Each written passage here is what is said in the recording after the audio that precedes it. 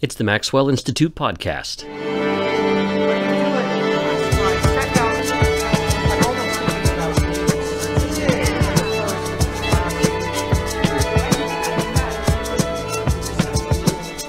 I'm Blair Hodges. When the Protestant reformer John Calvin published his book Institutes of the Christian Religion in the 1500s, he couldn't have anticipated ahead of time the incredibly different purposes his book would come to serve long after he died and was buried somewhere in an unmarked grave by his own request. The Institutes was a blockbuster in Calvin's day, but why, hundreds of years later, did it wind up playing a part in debates about apartheid in South Africa?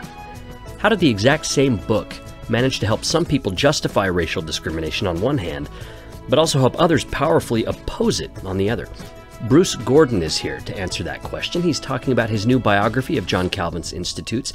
It's the latest in Princeton University Press's Lives of Great Religious Book series, and we're glad to have him on the Maxwell Institute podcast. Questions and comments about this and other episodes can be sent to mipodcast at byu.edu. We're speaking today with Bruce Gordon. He is the Titus Street Professor of Ecclesiastical History at Yale Divinity School. His books include a biography of Calvin and a book called The Swiss Reformation. But today we're talking about his latest book. It's a biography of John Calvin's Institutes of the Christian Religion. It's part of Princeton University Press's Lives of Great Religious Books series. Uh, Bruce, thanks so much for taking your time to come on the Maxwell Institute podcast today. It's a great pleasure to be here. I wanted to set the stage with the state of religion at the time of John Calvin with the Reformation. Before we get to Calvin himself, let's set the historical stage. So take us to the first decade of the of the 1500s when Calvin was born. What did Christianity look like at the time? I think one of the things that uh, is misunderstood is that it's often said that you know the late Middle Ages was a time of great decay, of decline of r- religion, of corruption. It was the but Dark Ages, right? It was the Dark Ages, exactly. But what you know Calvin would have found in in the world of the early 16th century is a church was extraordinarily diverse. That in some areas extremely vital. We look at, at England, where parish churches were being built all over the place. There was great signs of life. In other places, such in Germany uh, there was decline. There's, the picture was extremely uh, diverse. But what you also would find is extraordinary devotion, levels of devotion. The churches were full of uh, statues, full of worshippers, images, painted walls. Uh, so that it, this idea that it was in decline is, is really quite hard to sustain. Nevertheless, with the Reformation, which we associate with Martin Luther, whose uh, anniversary is being celebrated next year in 2017, something extraordinary happened. Luther put his finger on a problem that many people were recognizing that there was corruption within the church, and that people were being asked, essentially through the purchasing of indulgences, to pay for their salvation. And he struck a rich theme of anti clerical sentiment. And the reaction of the Catholic Church against Luther, which said, you know, this, uh, this obscure uh, monk and professor at university has no right to raise these uh, objections, stirred a lot of people into thinking that there was a serious problem with the church. Luther's own role in this was absolutely crucial. He began to identify the church as uh, being occupied occupied by Antichrist, thinking about Rome. His own position grew and grew as he articulated an idea of how the church should be reformed. And crucial to this, of course, was the printing press. Luther's image was everywhere. His words spread, and people were persuaded that there was a problem. So I would say that the role of the individual transformed what had been a fairly lively religious culture into something else. He had persuaded them that there was a serious problem and a serious mistake. So the Luther affair then attracted many other people who found in going back to scripture that many of the things he was saying were right. They were they were compelling, and so he was found himself at the center of a great storm, which attracted many other leading figures, and a revolution was started. With Luther, how much would you say he was a precipitator of uh, Reformation ideas, and how much was he more of a manifestation of what was already cooking? Uh, a little bit of both, but probably more of, of the first. He picks up on ideas that are already circulating in the late Middle Ages. People, of course, are reading scripture. They see what's in Paul's letter to the Romans about questions such as justification and grace. But Luther takes them to a, a new level. He really does uh, in his writings and in his preaching, give a new expression, which is highly uh, attractive and it takes all sorts of people back to scripture. So he, he is really at the front of this and really is the center of the storm. And you mentioned the printing press, so there's a pretty robust body of literature that began to be published and mm-hmm. circulating mm-hmm. here. And the Institutes of the Christian Religion, which John Calvin wrote, mm-hmm. is people think of it as such a huge book today. It's it's really had staying power, but it was actually just part of a wider stream of literature as the Reformation moved from sort of being a a breakthrough and perhaps not even initially intended to be a breakaway from the Catholic Church, uh, yeah. but it then became its own sort of establishment, which then had its own kind of schisms how did the literature reflect those shifts, and how, how did John Calvin's book fit into that?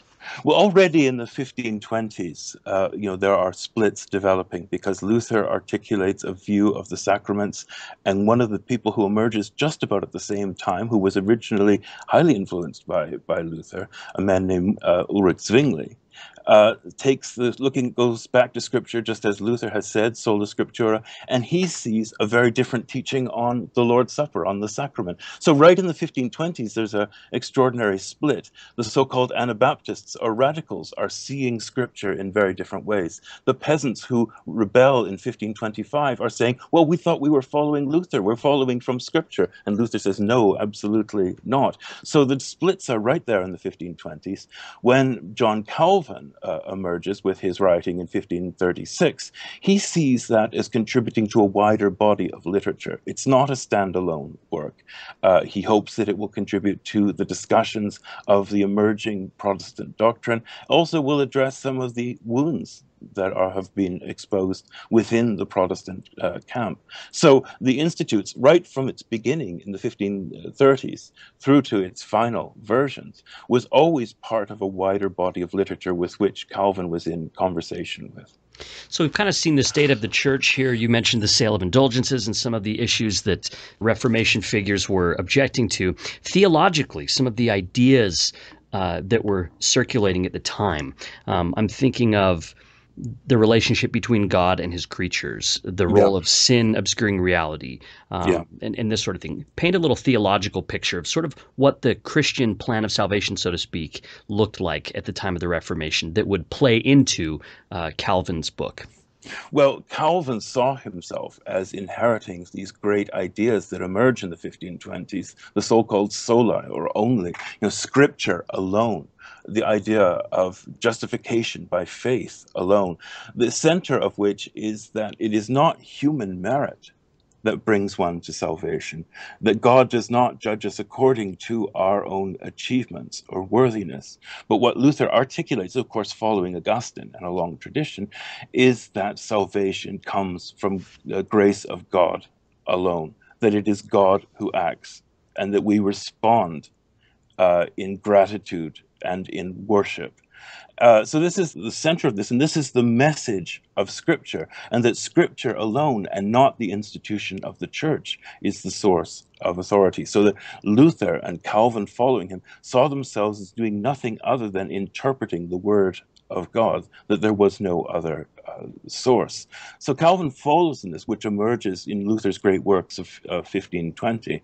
Uh, those are the central uh, theological ideas from which we'll build uh, teaching on the sacraments and teaching on the church, the teaching on the Christian life, those very full doctrines which you know increasingly find expression in the, uh, the subsequent editions of the institutes.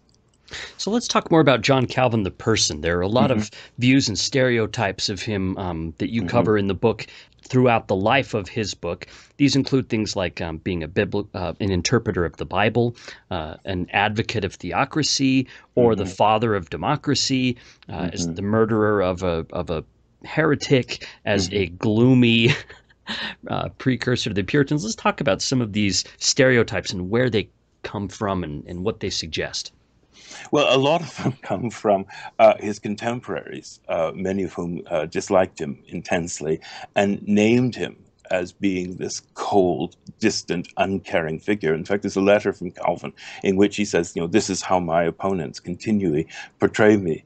Uh, but, you know, I am a person who loved my wife. I am a person who grieved for the loss of my child. Uh, that Calvin was, in many ways, an austere figure.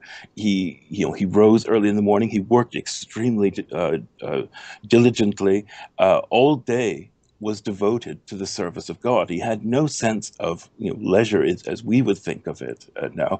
Every moment of the day, including sleep, was to the glory of God, and he dedicated himself to this. Uh, and because of that, he could be extremely demanding on those who were around him because he expected much the same of them. But, you know, he valued friendship very highly. His correspondence is full of concern for the families of others. Uh, he was a human. He was a human being, but he found himself in an extraordinarily difficult position, uh, head of the church in Geneva, which required enormous uh, uh control and uh, uh, discernment. Uh, he was part of a wider international movement that he cared for greatly, the spread of what he saw as the word of, of God. Uh, he did not tolerate those who gave only half, you know, their efforts to the job. He demanded extremely uh, high standards. Um, and that resulted in an image of him being this austere bibliophile. But to read his works and I would recommend, uh, for instance, his introduction to the book of Genesis, uh, you see that for him, the Word of God, the Bible, was a source of great pleasure, that he saw in it extraordinary beauty. The Bible was not some rule book for him, but it was the Word of God and it manifested the glory of God. And I think it's difficult for us and for those who simply have access to his words to get a sense of how, for Calvin, there was this extraordinary sense of, uh, wonder. So he was difficult. He saw himself in the light of, of the prophets of the Old Testament. He saw himself with a particular calling to uh, Christ's church. Um, he was very demanding, but he was not humorless. Uh, he was known to enjoy uh, a drink with his friends in friendship. Uh, he, he just was a, a complicated individual, but one who was dedicated to the service of God as he saw it. And in his dedication, one of the ways he wanted to spread that was by writing a book. And the book yes. we're talking about is Institutes of the Christian Religion. So let's let's talk a little bit about that, the factors that led him to write that book. Yes. Well, he writes the book uh, in, in its first version in 1536 as a complete unknown. And he sees it as uh, following from the work of Martin Luther. He adopts the structure of, of Luther's catechism uh, the book receives uh, extraordinary, uh, uh really warm welcome. Uh, it brings Calvin to the notice of a large number of quite prominent individuals. But Calvin himself was not someone who uh, was satisfied with his efforts. He continually strove to improve, to expand, because he saw the institutes as reflecting his ongoing work of the study of the Word, his service uh, to the church. So it would continue to grow as his ministry, as his studies uh, expanded. But the book was moving towards what he wanted it to be, which was a sum of Christian doctrine. And he says in the 1559 edition that he that he at least has achieved a state where he can be satisfied that this is what he's done. It was to be you know, what we could call a summary of Christian doctrine, in which the doctrine was laid out in an orderly way, following the Word of God, and was comprehensible to readers.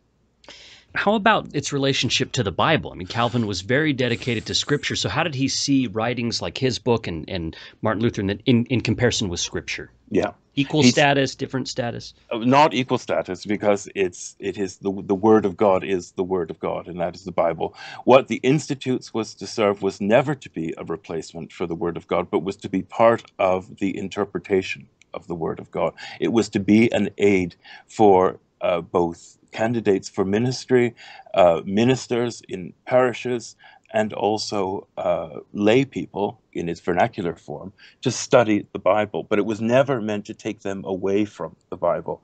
It's important, you spoke earlier about the relationship between the institutes and other forms of writing. The institutes for Calvin was to be seen together with his biblical commentaries. They were to be read side by side. Because they did two related but separate things. The biblical commentaries followed line by line through Scripture, explaining to the reader what was unfolding.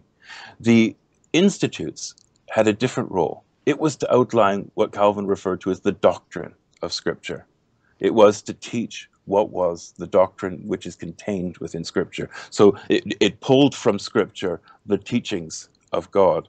So they were to be read alongside one another. They did two distinct things, but both were to serve the individual in understanding the Word and never to replace the reading of the word itself. This seems to raise a question about authority because one of the things mm-hmm. reformers were concerned about was that the church was adding these layers onto scripture that the yeah. Catholic Church had scripture but it also always had this idea of of the tradition that the church uh, took care of and and it would be alongside and just as authoritative as scripture, right? So with the reformers, they they also didn't find the Bible to necessarily be sufficient if they're writing these commentaries on it. So although they had this belief in sola scriptura, yet they were creating their own body of yes. tradition. Did they ever reflect on that paradox at all? Yes, absolutely. Uh, and their critics reflected on that paradox a great deal. Uh, critics who were within uh, the Protestant world, many of them said, "You are re- simply replacing." The old orthodoxies here, that you are replacing the Word of God with your own books of authoritative interpretation. And Calvin was extremely sensitive, not just Calvin, but all, that whole generation of reformers were extremely sensitive to this criticism.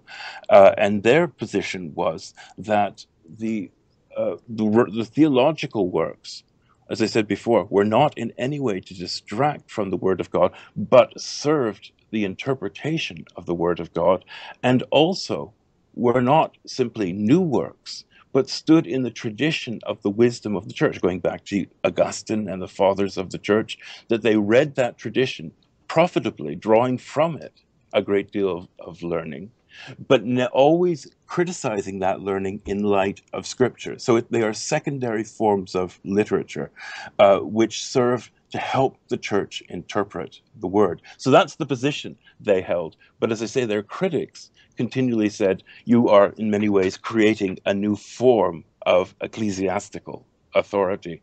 What the reformers wanted to say is it's not the Bible only, but the Bible alone. That the that you have this tradition of reading the Bible, which is informative. It's the wisdom of the church, but one must always have a critical relationship to it.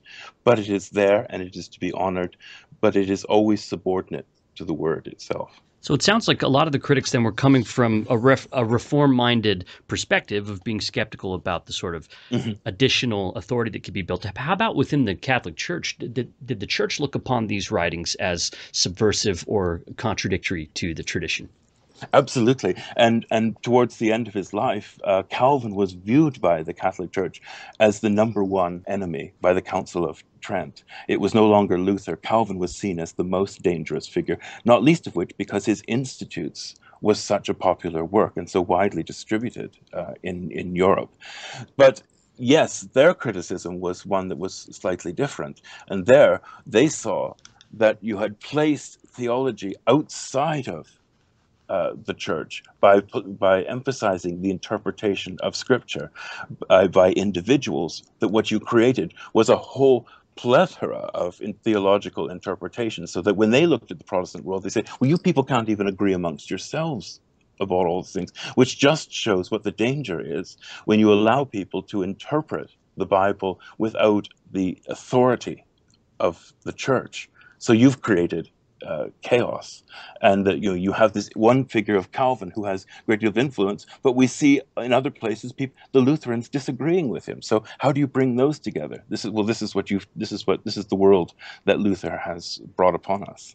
And you in the book you talk about how he intended he intended the institutes to be for um, lay readers, not not necessarily for clergy, but he wanted this to be an all access pass. Yes, absolutely. So that's why he created it both in its French version. Uh, he uh, wrote in French, but also in Latin. The Latin was primarily for students of theology, those who were preparing to become pastors, uh, and for those who were already pastors. And of course, it was also to be uh, read by theologians. But he put a great deal of effort into the uh, vernacular versions, the French versions of the Institutes, which were not entirely the same. He took out a lot of the references that were in the Latin version to make it more user friendly.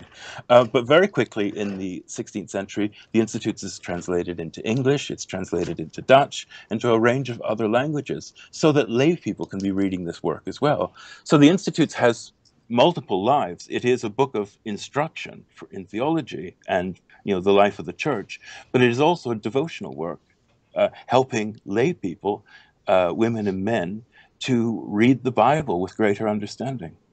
And you talked about how the church came to see Calvin as an even bigger opponent than Martin Luther. Um, this is something that you cover throughout the book that there's a very close relationship between Calvin the person and his book, and that yes. these things get muddled throughout the history of the book's life. Talk about that for a minute. Yes, I mean, often, you know, when people are asked, to name a book from the Reformation, they will say Calvin's Institutes. And then if you press again, uh, you'll say, well, what else did Calvin write? They will they will say the Institutes, and and uh, um, he's seen as a bit of a one book wonder. Well, he's not. He he wrote a great number of works throughout his life, and of course, he wrote voluminous biblical commentaries. But nevertheless, the Institutes has the, been the book which has defined his character, and it's also, and this is one of the things I, I tried to to look at in the book, is that it shaped very much uh, the way people understood Calvin, but at the same time, the way people read the Institutes was was greatly molded by what they thought of Calvin himself. So there is this relationship between uh, the individual and his book. But for many uh, decades and even centuries, uh, and thinking primarily in, from the 18th into the 19th century, when Calvin was not widely read, uh, the book was mentioned without people knowing much about it, but it was taken to represent the various, usually unpleasant uh, qualities that were associated with uh, Calvin himself. And really, what happens in the 19th century when you start to get editions of the institutes appearing again is that people are seeing that the book itself has many different dimensions to it. And with the growth of biographies of Calvin in the 19th century, we're seeing his life had many different dimensions to it, and the two were not exactly the same.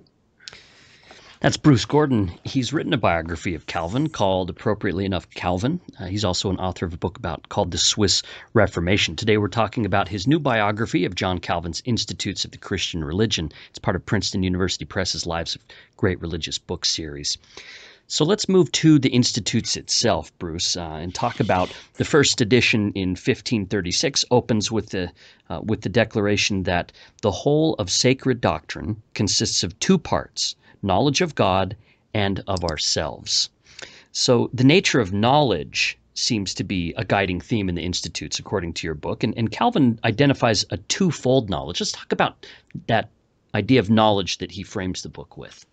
Yeah, I think it's it's very important to to think about what he means by knowledge because it's not entirely how we would respond to it in the first instance. It's it's not simply that you something you learn about or you hear about, but this knowledge that Calvin opens the institutes with uh, famously, the twofold knowledge form of, of, of, of knowledge is related to what God has revealed to us that our knowledge, our awareness, you can think of other terms, our sense, is to use a word that Calvin uh, likes very much, our sense of the divine has been revealed to us uh, by God. And that the, so that the whole of the relationship between God and humanity is defined by this reaching out of the divine to us. Now, that knowledge will take different forms uh, because in, in one way it will go to all humanity all will have a sense of the divine but that for calvin it has a, it takes a special form in Christ, in that those who are, in Calvin's language, chosen or elect will have a full knowledge of, of, of the divine. How did this play into his doctrine of predestination? Because if knowledge is something that's given by God, then yeah. Um, this speaks to a pastoral question that, yes. that seems to have driven the book: why some believe and why some don't. Well, that's you know is the great question, and of course a source of tremendous controversy, not only in, in Calvin's day, but ever since, uh, uh, raged through uh, the 18th and 19th century uh, and into our own time. You know, why does does Calvin speak of you know what comes to be known as double predestination? That God has not only chosen those who will be uh, who enter into paradise, but those who are the reprobate.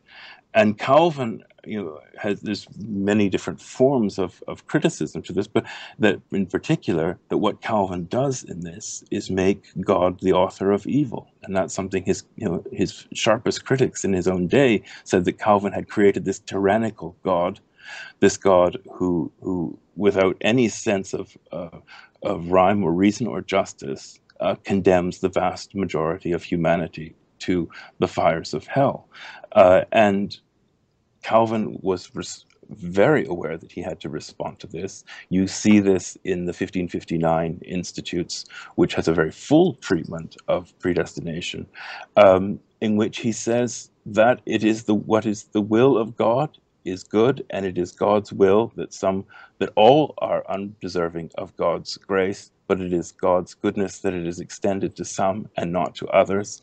And why it goes to one person and not to another is something humans can simply not know. And he he is fierce on the point that we must never speculate about who belongs to the elect and who belongs to the reprobate. Uh, he, he speaks, for instance, of in his commentary on Genesis, of Lot's wife. Lot's wife is punished for turning back. But Calvin says, we do not know of her eternal fate. That is belongs to God uh, alone.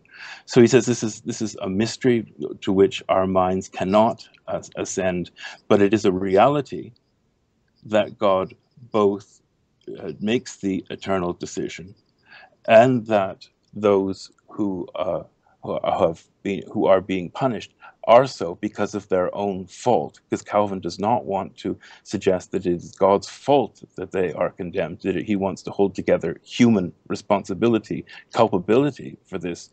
But these are the two that are in tension with each other. And he says it's simply a reality that's found in Scripture. And that's not for me to resolve why that is.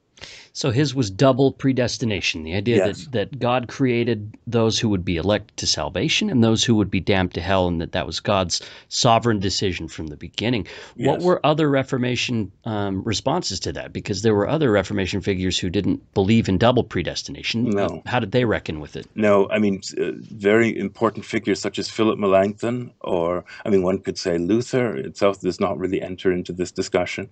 Uh, it's uh, Heinrich Bullinger, who was in some ways Calvin's closest colleague. He was the head of the church in Zurich. They worked together very closely. Um, they all did not accept this idea of double predestination because they felt that it stressed a tyrannical sounding God. Although all of them advocated a doctrine of predestination, which was pretty much shared by all the Protestant reformers, and all look back to Augustine and Aquinas on this point.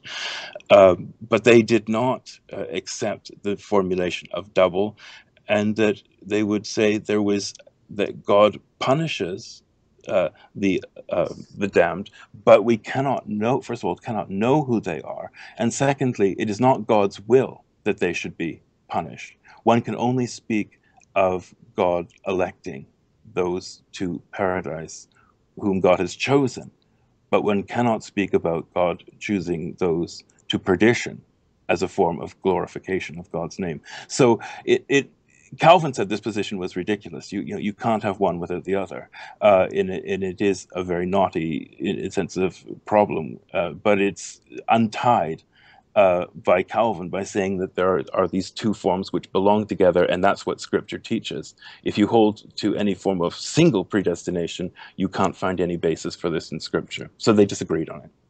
It's interesting that in behind to, to simplify it into two different sides, and there were more than that. But Calvin, uh, double predestination versus people who kind of held to the single predestination idea behind both of those sides seems to be an appeal to mystery, though. I mean, Calvin was grounding it in, in his interpretation of Scripture, but saying ultimately this is something that we can't understand. And it seems like his opponents could have just said the same thing, like, yeah, the Scripture may seem to say that to you, but there's a mystery here that, you know, did they appeal to mystery as well?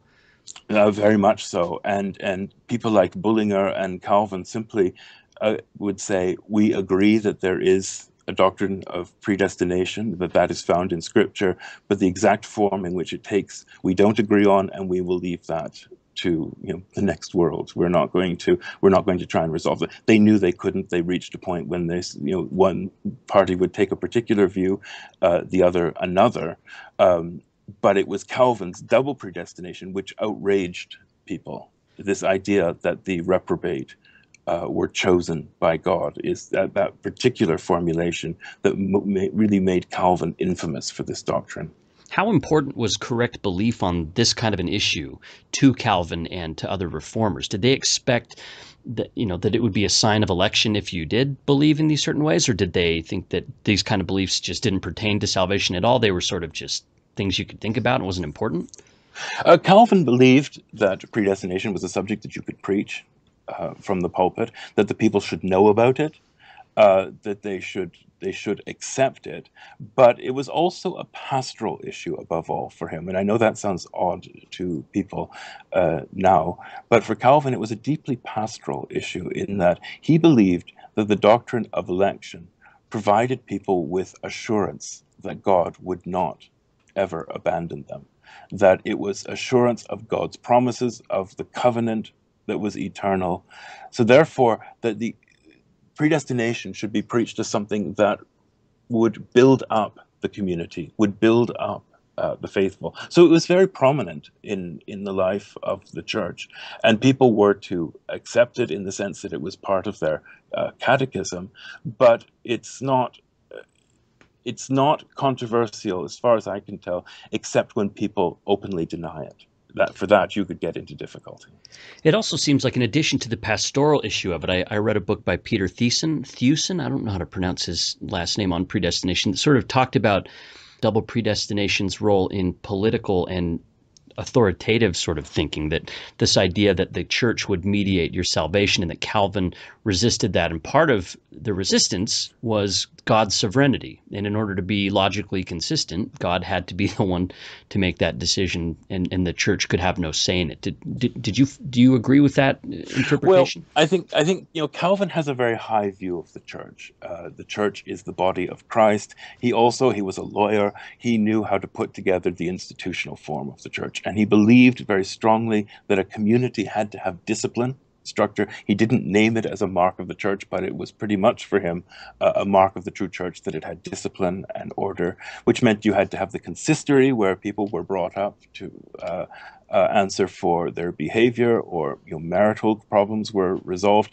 So he has this view that the institutional life of the church is highly important uh, because that is the means by which the godly community is built up. But it does so only through fidelity to the word of God. It has no independent authority. It has it's it's comes back to the you know the question of the centrality of Scripture.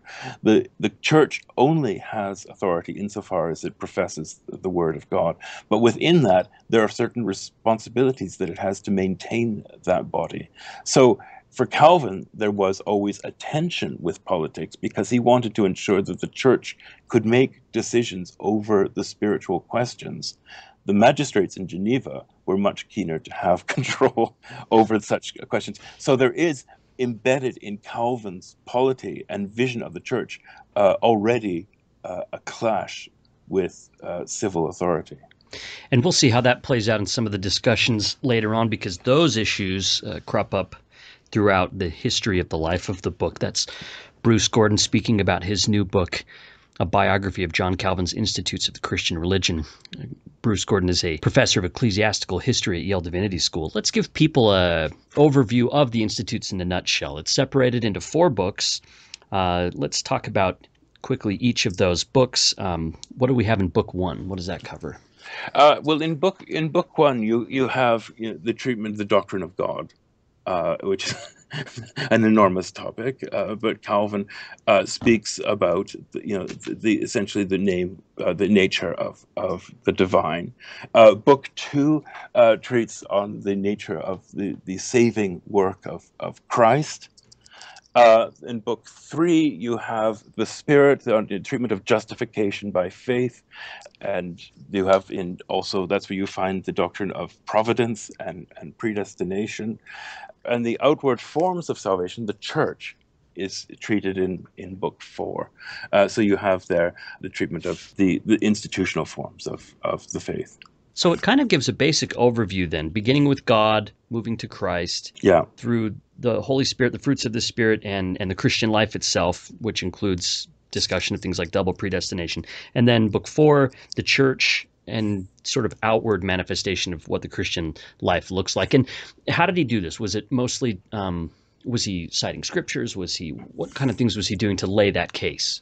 Calvin had what he you know, referred to as the the right order of, of doctrine, which was that he he searches, and he talks about this in the introduction to the uh, Institutes of 1559. He, he said, you know, my search, my my labor has been to put the doctrine of the Christian faith in the right order, which is a kind of the order of teaching so that he lays it out step by step, so that those who are the readers, in which case for the, the Latin version, which would be students of you know, theology preparing for ministry, uh, would be able to follow it in a most straightforward way. But that's not just Calvin imposing an order on doctrine. He saw that that order was embedded in Scripture. Uh, so that the order that he was seeking to replicate in his book is actually, for him, found above all in Paul's letter to the Romans, and that that is the right order of, of teaching, of doctrine that he seeks to uh, emulate in this text. And he expresses a degree of, of satisfaction uh, that he's, you know, got got pretty close to what he wanted to, to, do. So it's not a it's not an arbitrary structure, but there are other people whose works were highly influential on Calvin as he prepared the Institutes, and above all Philip Melanchthon, who had been in Wittenberg and was a friend of, of John Calvin. So they corresponded extensively. And Philip Melanchthon's work, the Loci Communes, the commonplaces, was deeply influential on Calvin's own organizing of the text. But of course, it begins with with the, with this whole question of the knowledge of God, and then proceeds through uh, a series of questions. And during his his many versions of the institutes, he moves material around quite a bit, but he also uh, uh, he also adds to it considerably. He never changes the arguments, but he adds to it considerably as his reading goes on, as his study goes on, as his work preaching and and teaching of the Bible goes on, the work expands. It's it's extraordinarily dynamic. It never stays this, exactly the same from one edition to the next. Did he ever feel like one of them was sort of the definitive edition eventually before his death? I think the 1559 uh, Latin.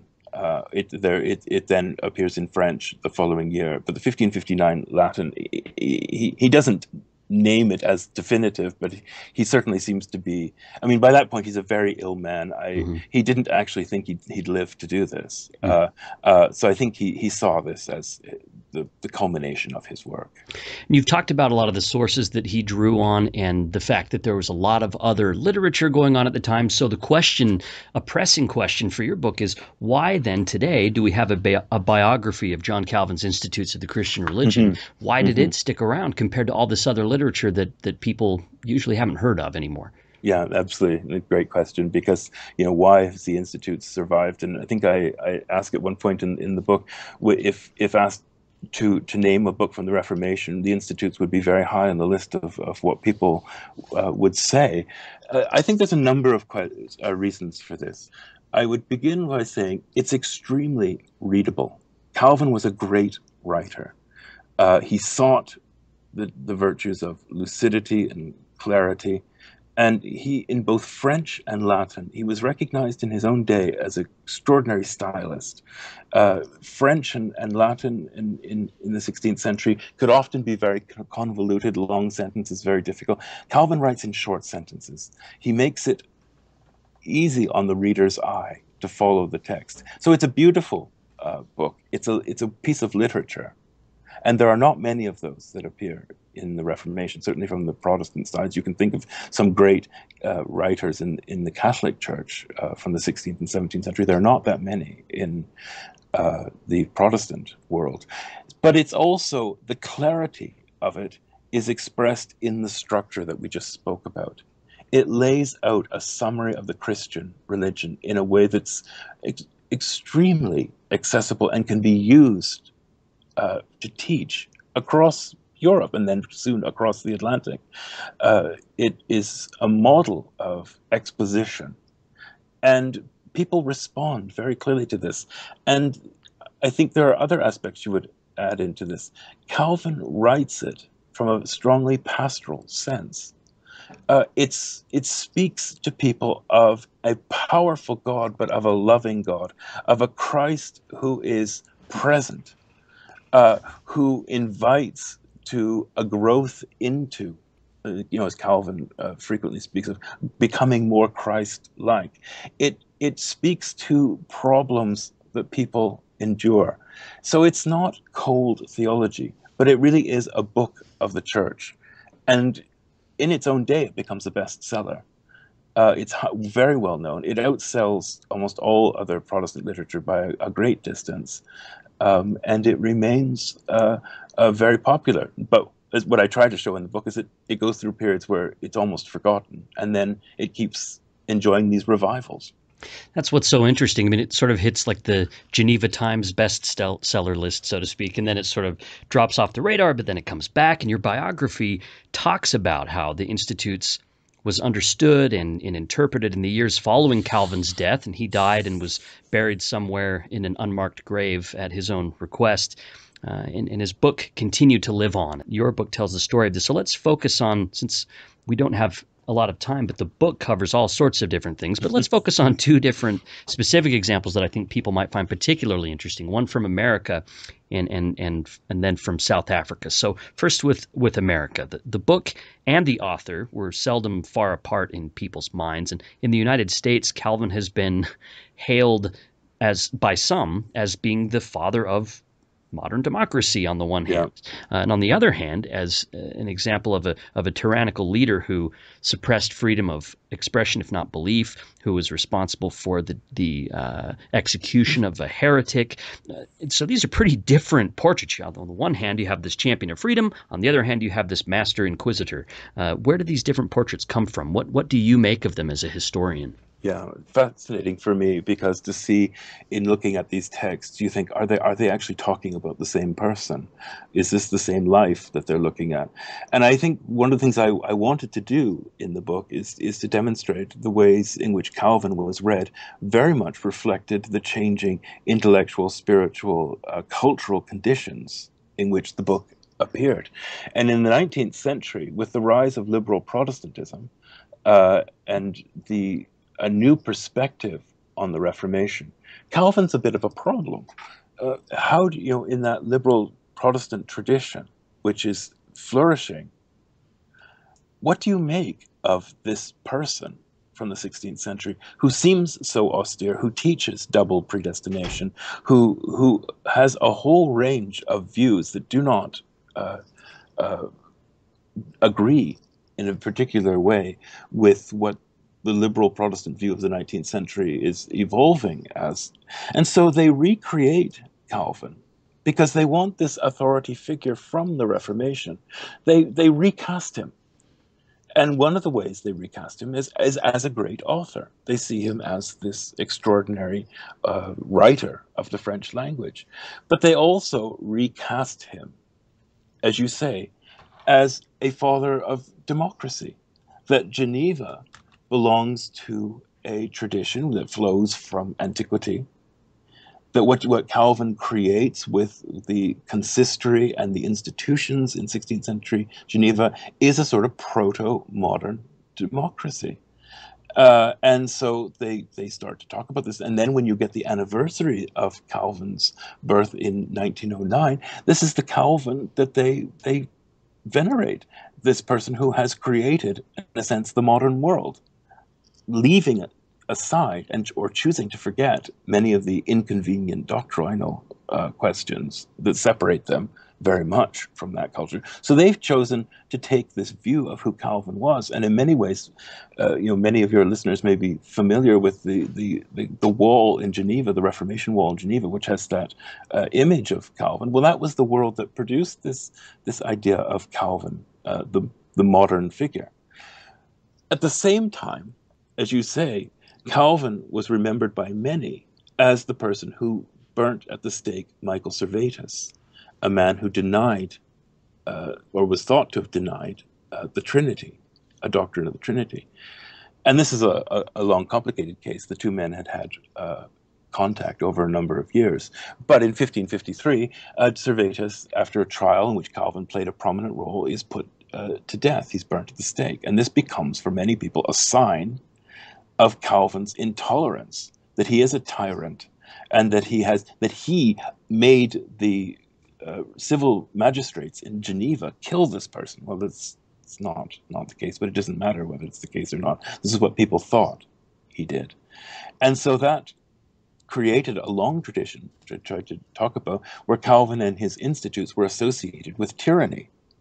This horrible figure, the worst of the Reformation, the worst of religious intolerance, and so those two views, so you get many people in the 19th century reviving this view of Calvin as the intolerant figure, while others are creating a Calvin who is this voice of the modern world.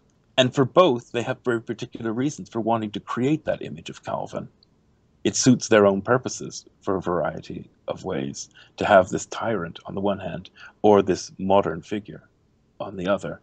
Uh, and that debate go, goes well into the into the uh, 20th century and into our own time. Uh, two uh, quite different views of Calvin. You will still find books and articles on Calvin which see him as a modern figure, and you will find plenty of literature now that, that still speaks of Calvin, the person who puts people to death. The difficulty for any defender of Calvin there is the fact that Calvin, he may not have uh, lit the the tinders with his own torch, but I mean, he did facilitate that. He didn't oppose that. He he he went along with that. How how do people say? How do people reconcile that with uh, people who see Calvin as this uh, sort of enlightened figure, a democratic figure?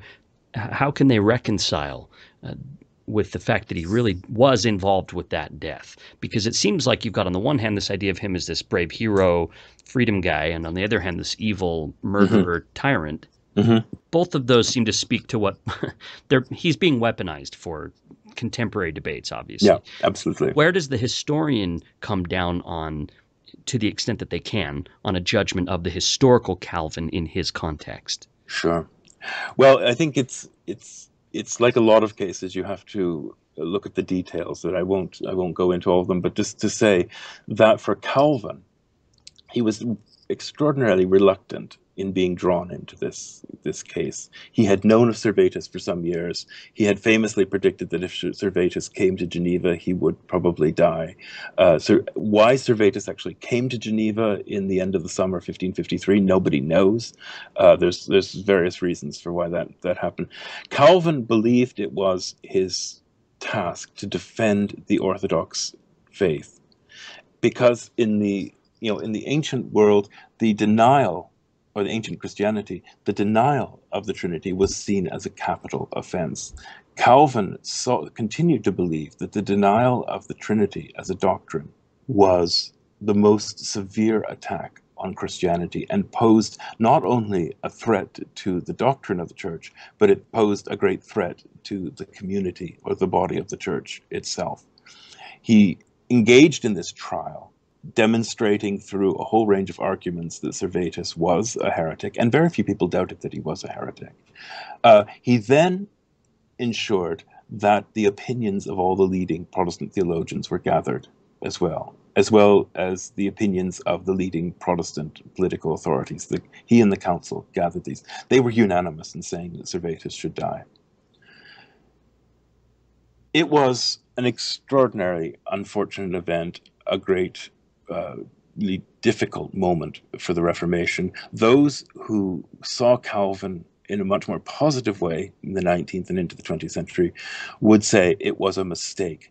And one of the things they did just before the 1909 anniversary of Calvin's uh, birth, was to issue an ap- apology for that event.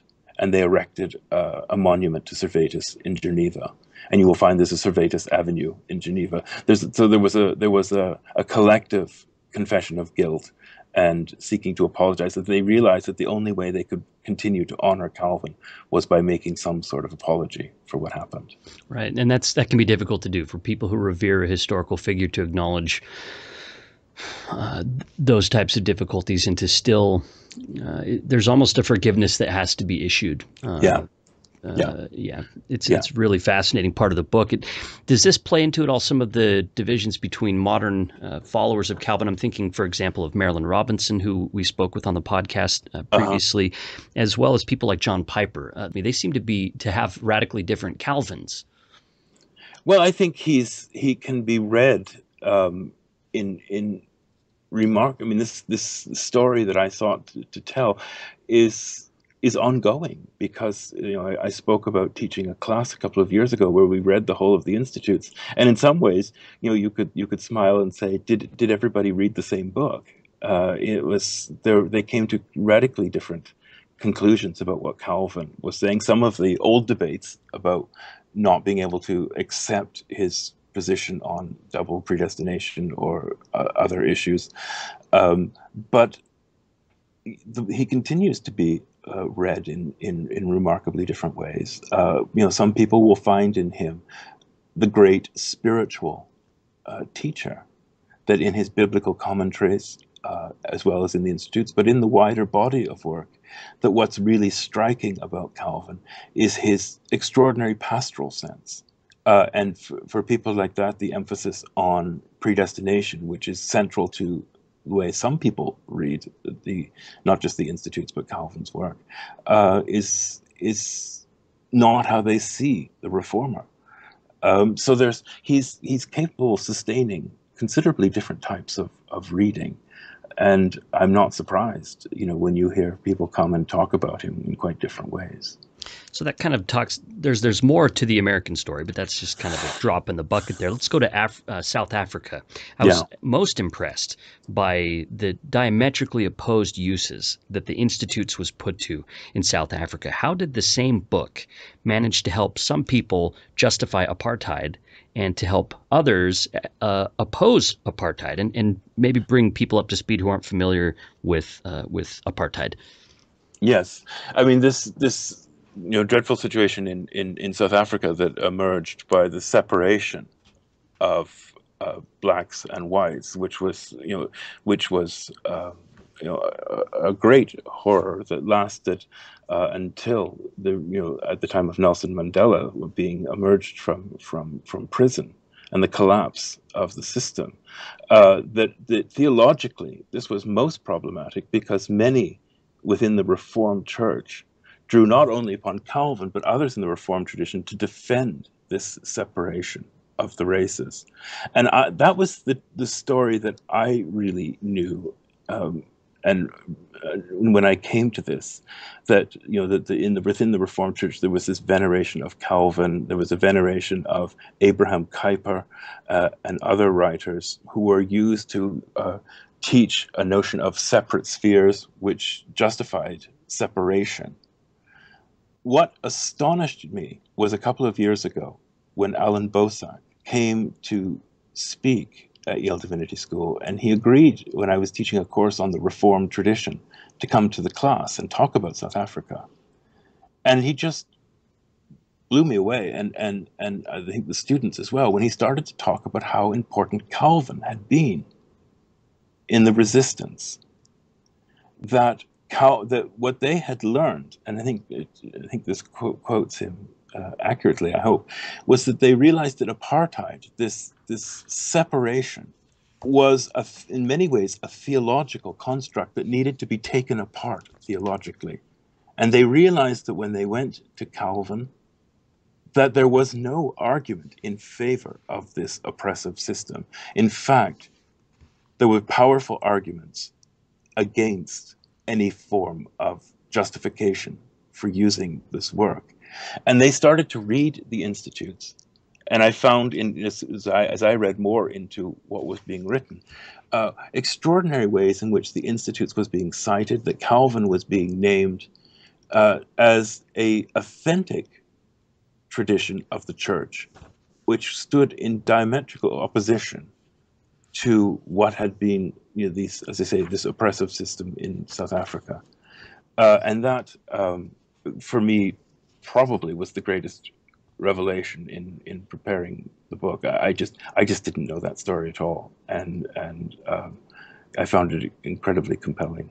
To me, uh, I I agree. Uh, that was the most striking part of the entire biography of institutes was you had people who had been systematically oppressed, uh, in in part because of uh, and justifications had been given based on Calvin's institutes, you yes. would you would think that the people being oppressed would have no purchase with that work at all.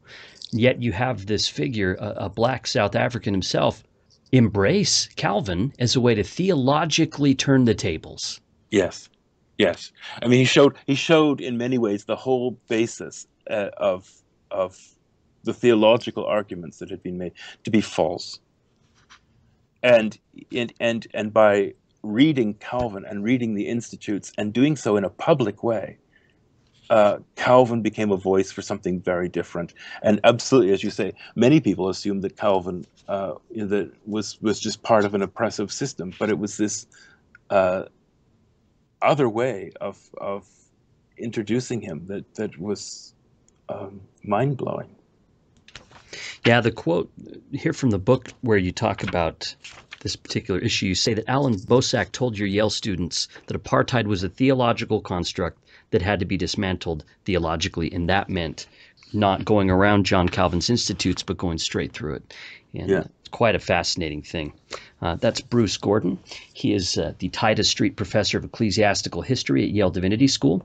His books include Calvin, which is a biography of the Reformer, uh, and he also is the author of a new biography of John Calvin's Institutes of the Christian Religion. It's part of Princeton University Press's Lives of Great Religious Books series. We'll take a brief break and be right back for the rest of the interview. Thomas F. Rogers has been a student, a teacher, a professor of Russian literature, a playwright, a Latter day Saint missionary, mission president, bishop, and patriarch, a husband and father. In each circumstance, he's endeavored to lovingly negotiate the avenues of faith and reason. His new book is called Let Your Hearts and Minds Expand Reflections on Faith, Reason, Charity, and Beauty. It's part of the Living Faith series from the Neal A. Maxwell Institute for Religious Scholarship. Learn more about Let Your Hearts and Minds Expand and other Living Faith books at mi.byu.edu slash livingfaith.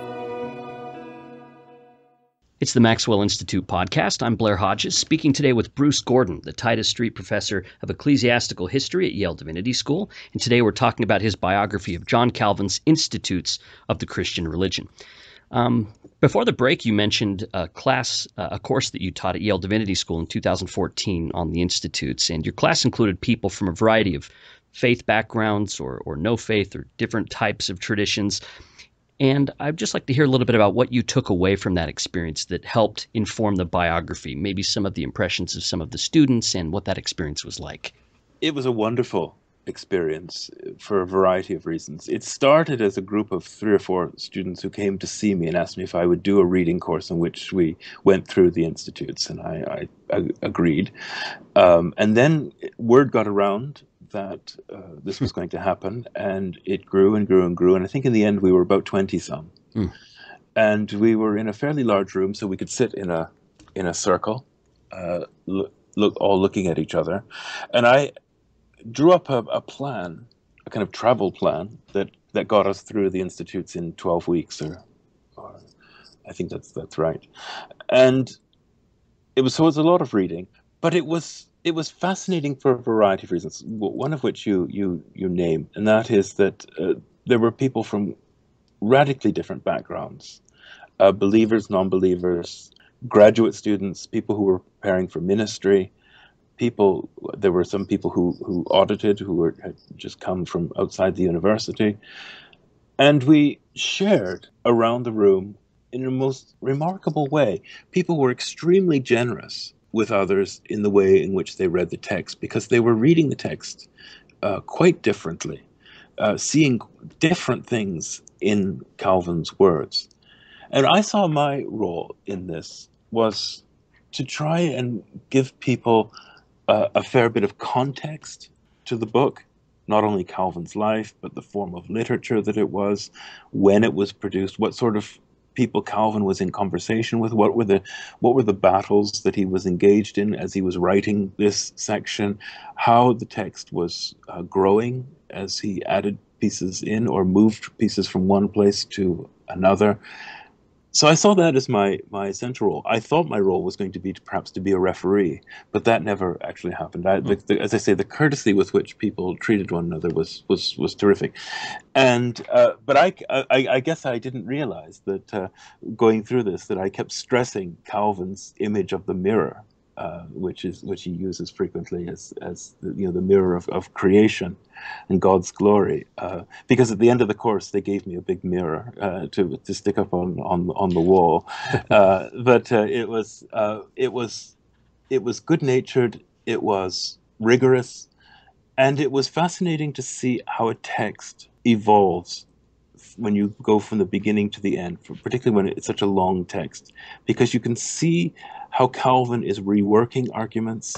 He's he's returning to uh, material that he's covered before, but he's doing so in a different way with a different purpose. The text, I think, really came to life. I think that's the thing that we all found. It really came to life, no matter how differently it was being read.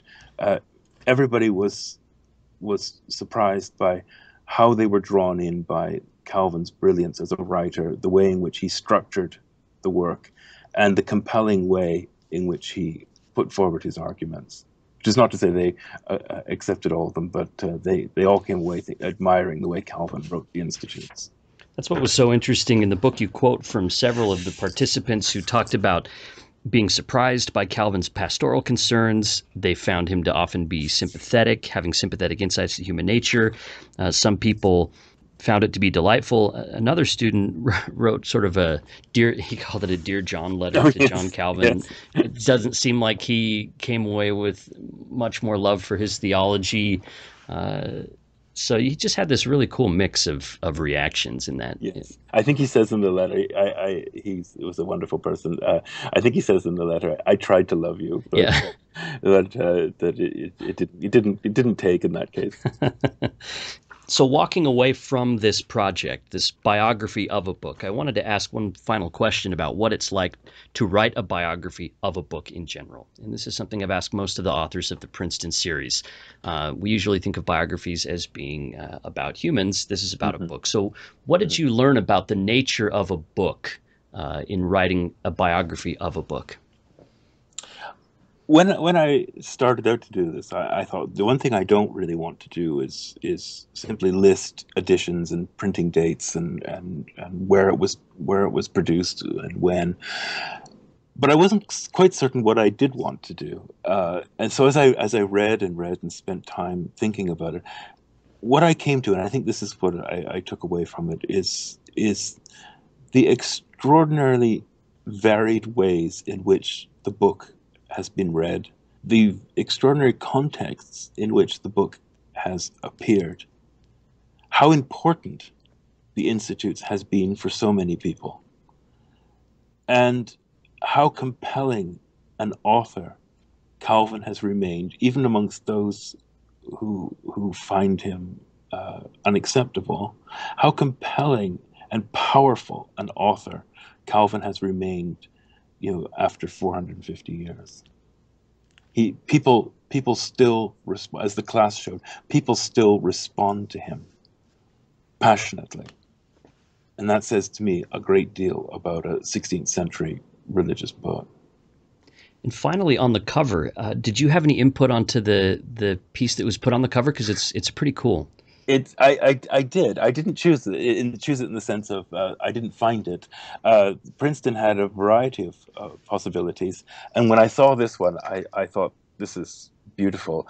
It's uh, by a Japanese artist. It's it's an image of the uh, flight into Egypt. It it catches a number of things that I thought the book tried to be about. That is the theme of exile, which is so powerful for Calvin, uh, and the the context. You know, the, the unexpected context of of of an Asian artist showing that Calvin has in his this book a worldwide presence it's very much part of a spreading tradition. And speaking of Japanese, you mentioned uh, before the interview that uh, you have a book that was just translated into Japanese. yeah, I just found out today it's going to be. It hasn't been. It hasn't right. been made, but it's going to be translated. It, Cal- the biography of Calvin is going to be translated into Japanese. But as I say, I won't be doing the proofs. yeah. Uh, any other projects that you have cooking right now? Well, I have a, a, couple of things. One big project that I'm finishing is is on the Bible in the 16th century, so that's another large topic. But uh, uh, I, I, think my next big project will be to take on Zwingli and the early Reformation. Mm. That's Bruce Gordon. He is a professor of ecclesiastical history at Yale Divinity School. And today we are talking about his book on John Calvin's Institutes of the Christian Religion. Bruce, thanks so much for taking the time today. Oh, it's my pleasure. Thank you very much for asking me.